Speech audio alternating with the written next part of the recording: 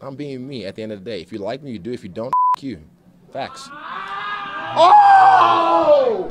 Wow! Let me see that. out of here. Off. Wow! Nah!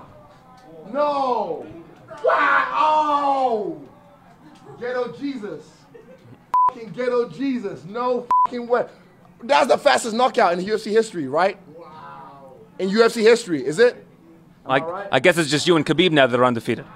Nah, bro. I, I didn't, bro.